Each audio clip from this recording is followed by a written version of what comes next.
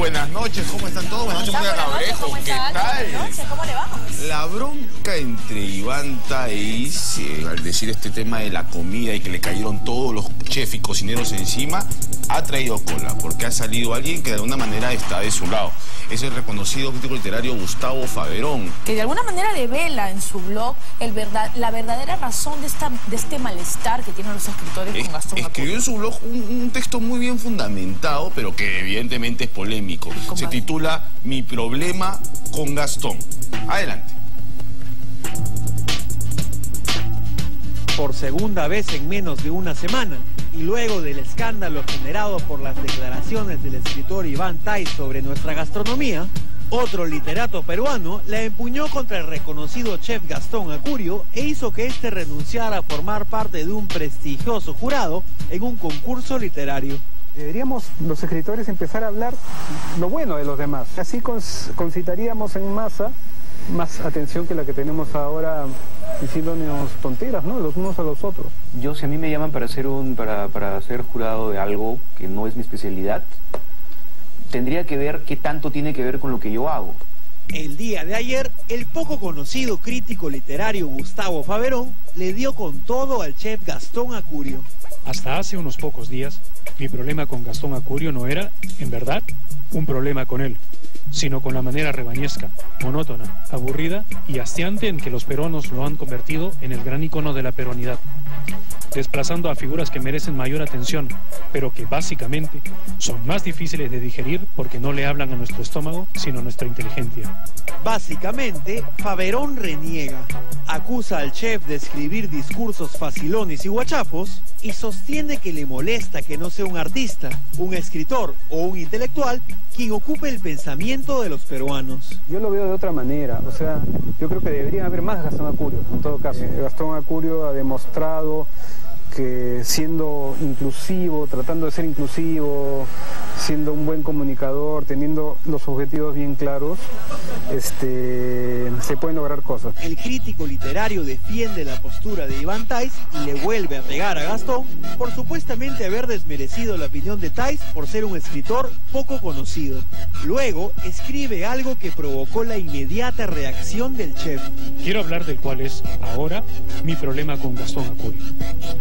Gastón Acurio es, este 2012, uno de los miembros del jurado del concurso anual de cuento de la revista Caretas. ¿Cómo y por qué es que Gastón Acurio acepta ser miembro del jurado de un concurso literario?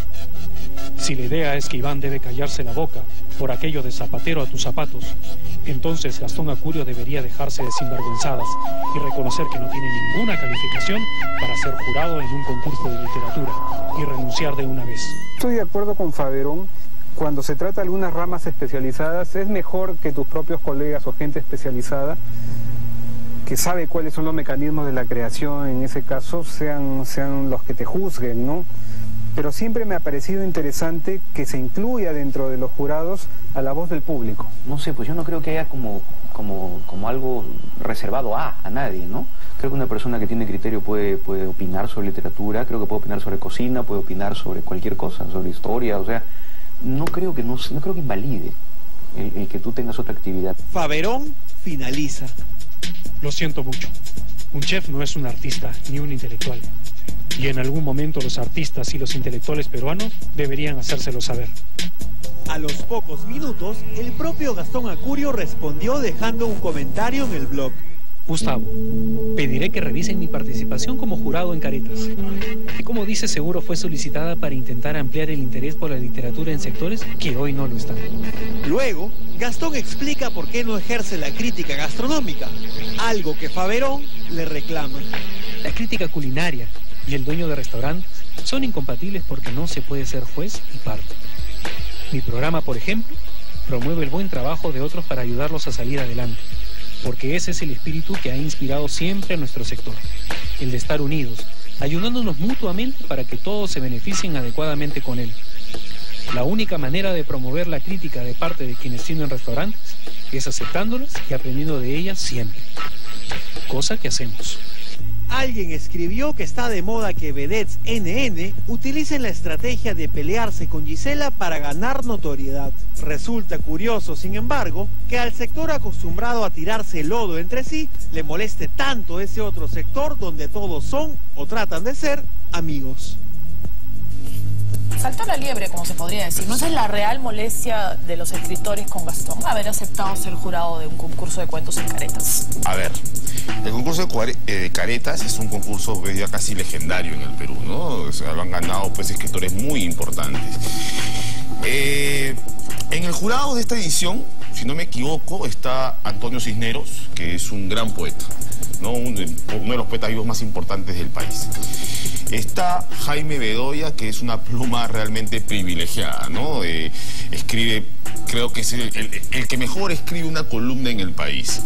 Está Patricia del Río, si no me equivoco, es una periodista, eh, pero que ha tenido un programa literario en radio durante muchísimo tiempo y que ha trabajado de alguna manera en la investigación literaria. Me falta uno, pero uno de los jurados, digamos que era Gastón Acurio, era un jurado que pretendía que imagino caretas, que la gente que no escribe o que, o que escribe y no se atreve a mandar un concurso al ver la figura de Gastón se anime a mandar su cuento. Me imagino que Gastón en ese concurso iba a cumplir una, labor, pues digamos, del lector común y corriente. No me parece mal a mí este, que Gastón sea juez en el concurso de calidad, porque además es un voto pues colegiado entre cinco jurados, ¿no? Me he olvidado de un jurado, pero... Este, pero después de todas estas críticas, Gastón Acurio ha declinado para ser el jurado. Una pena, una pena, porque mucha gente se siente identificada con, con, Gastón para bien o para mal. Es un empresario exitoso y que... Es un ícono de éxito en el Perú. Y ha reinventado, digamos, el valor de la comida peruana. Algunos dicen que la ha reinventado para, bueno, que vaya más gente a su restaurante. Qué bueno, qué bueno, pero se nota que en ese, en ese gremio, ese gremio de los cocineros y de los chefs, es, uno de los gremios más unidos del país. Pero ahora los, el gremio de los escritores también, porque todos se han unido y, han hecho que Gastón decline de, aceptar el puesto de jurado. Como dije, yo creo que fue una avalancha de insultos a, a Thais innecesaria y hay que decir que Thais no solamente es un buen escritor, ojo, sino que Thais, Thais, Iván Thais tiene un blog muy importante, que es un blog que ha hecho que mucha gente, muchos peruanos, estudiantes de literatura, puedan publicar de alguna manera en editoriales importantes del mundo. O sea, sin Thais en ese sentido, o sea, Thais debe ser de alguna manera la figura más importante de la narrativa peruana en los últimos años. Y eso, bueno, es, algo que no lo digo, no lo digo yo. Pero muchos, muchos no lo conocían, ¿no? Solamente lo, habían visto un par de veces por televisión y bueno. Y para terminar, bueno, Faberón asevera, pues, este...